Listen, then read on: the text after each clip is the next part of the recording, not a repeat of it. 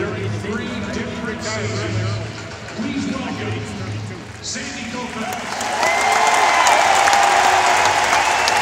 he pulled a Barry.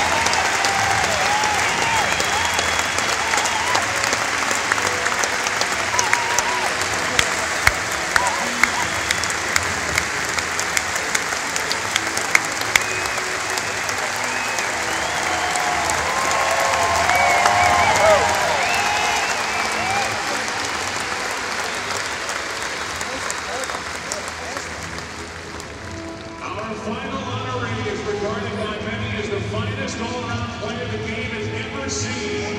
His amazing catches have played on highlight reels for decades and earned him a record 12 Gold Glove Awards, while his speed and power struck fear in opponents, whether he was at the